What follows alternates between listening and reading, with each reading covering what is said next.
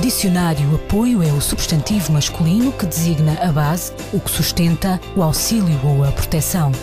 Mas na rede de afetos que caracteriza o dar de si sem pensar em si, apoio é a Associação de Solidariedade Social que há 23 anos trabalha para os idosos e crianças do Conselho de Oeiras.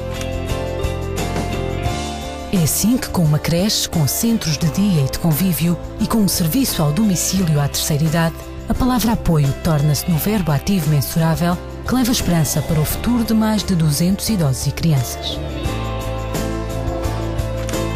A nós, mais do que aplaudir, pede-se para também darmos apoio a esta casa feita de pessoas que dão apoio a outras pessoas.